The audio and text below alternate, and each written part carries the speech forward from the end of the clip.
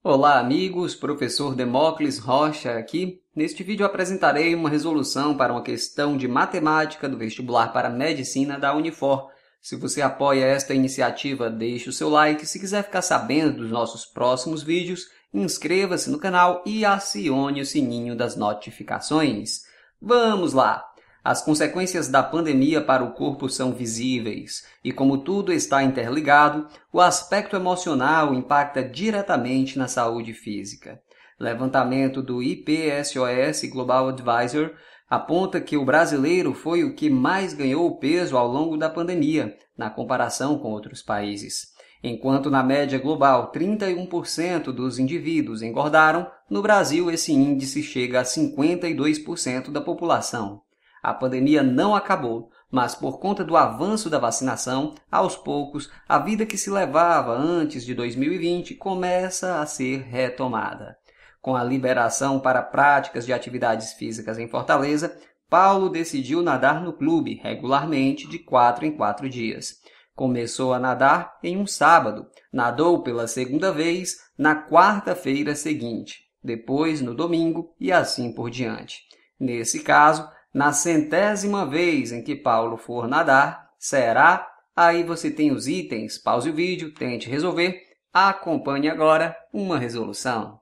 Beleza, vamos lá. O enunciado pede que a gente diga: na centésima vez em que Paulo for nadar, será qual dia da semana? Vejamos o que a gente sabe. A gente sabe que ele nada regularmente de quatro em quatro dias. Ele começou a nadar em um sábado, vamos anotar, ele começou a nadar em um sábado, ótimo. Depois nadou pela segunda vez na quarta-feira seguinte, ótimo, aqui está, quarta. Depois nadou no domingo e assim por diante. Beleza. Então, vamos lá. Ele nadou pela primeira vez em um sábado, pela segunda vez em uma quarta, pela terceira vez em um domingo. Vamos continuar com esse padrão para ver se a gente identifica algo que nos ajude a resolver o problema, ok? Depois do domingo, quando foi que ele nadou? Conte comigo. Domingo.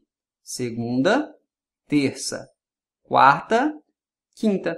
Depois do domingo, ele nadou em uma quinta-feira. Ótimo, vamos anotar aqui. Então, foi a quarta vez que ele nadou. Depois da quinta, conte comigo. Sexta, sábado, domingo, segunda. Então, depois da quinta, ele nadou em uma segunda-feira e foi a quinta vez que ele nadou. Depois da segunda, terça, quarta, quinta, sexta. Beleza. Depois da segunda-feira, ele nadou em uma sexta-feira. Foi a sexta vez que ele nadou. Depois da sexta-feira, conte comigo. Sábado, domingo, segunda, terça. Depois da sexta-feira, ele nadou em uma terça-feira. E a terça-feira foi a sétima vez que ele nadou. Depois da terça, conte comigo. Quarta, quinta, sexta, sábado. Opa! Depois da terça, ele nadou de novo em um sábado. E agora a gente já não precisa mais ficar contando, porque a gente sabe que depois de um sábado, ele nada em uma quarta. Isto é, quatro dias depois de um sábado, a gente tem uma quarta. Depois de uma quarta, ele nada em um domingo, a gente já fez essas contas. Depois de um domingo, ele nada em uma quinta. Depois de uma quinta, ele nada em uma segunda-feira.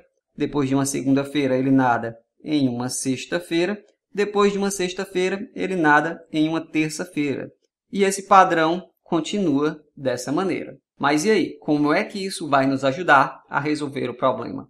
Basta que a gente identifique que sempre que o número correspondente à vez em que ele for nadar for um múltiplo de 7, ele vai nadar em uma terça-feira. Sempre que o número correspondente à vez em que ele for nadar for um múltiplo de 7, ele vai nadar em uma terça-feira. Por exemplo, se a gente continuar com esse padrão, a gente vai observar que na vigésima primeira vez que ele for nadar, vai ser de novo uma terça-feira. Então, a gente percebe que esse padrão ocorre de 7 em 7. Para resolver o problema, a gente vai dividir, então, o número 100 por 7. Veja só, dividindo 100 por 7, o quociente inteiro é 14 e o resto é 2. Isso significa que a gente vai ter 14 grupos de 7 dias da semana assim, e a gente vai precisar de mais dois dias na semana, de acordo com esse padrão. Se você fizer a conta, 14 vezes 7 é 98. Isso significa que na vez que ele for nadar de número 98, que é um múltiplo de 7, será uma terça-feira. Mas a gente está interessado em descobrir na centésima vez. É só a gente avançar um pouquinho. Terça. A vez de número 99 que ele for nadar vai ser um sábado. E a centésima vez que ele for nadar, segundo esse padrão, será uma quarta-feira para nossa alegria. Então, o item correto é o item C de casa. Está na hora de dizer que este vídeo foi feito de coração para te ajudar. Se ele te ajudou e você quiser me ajudar de volta, deixe um comentário com uma carinha sorrindo, compartilhe o vídeo.